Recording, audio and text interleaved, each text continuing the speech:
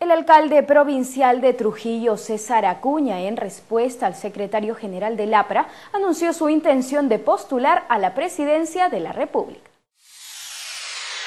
El líder de Alianza para el Progreso, César Acuña, confirmó su candidatura para la presidencia de la República en las próximas elecciones del 2011. Creo que todavía estamos lejos, ¿no? Personalmente yo hablo de Trujillo, creo que al estilo, al estilo de Fujimori, están inventando encuestas, están tratando de sacar información que no es válida.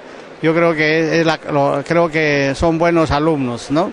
El 8 o 9 de octubre estaré renunciando para ser candidato presidencial. Anuncio lo hizo durante sesión de desagravio que realizó el alcalde de Trujillo para responder a críticas del flamante secretario general del partido aprista, Jorge del Castillo, quien pidió investigar la fortuna del empresario universitario.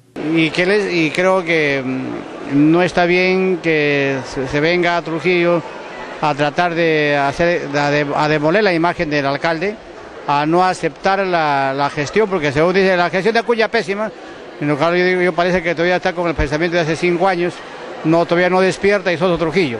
Para Acuña Peralta, actos de corrupción no existen en su gobierno, sin embargo tampoco hizo un mea culpa sobre su actual gestión, la cual no tiene obras de gran envergadura como las prometidas en campaña política. Yo creo que hay una, gran obra importante, va a ser el Centro Carretera Rinconada, y yo no creo que hemos hecho lo que hemos podido y hemos, hecho todo el esfuerzo para cumplir con lo que ofrecimos a Trujillo. Al interior del partido apepista ya se habría designado la postulación de Manuel Yempén a la presidencia regional de la Libertad y Gloria Montenegro, actual secretaria general, al sillón municipal de Trujillo.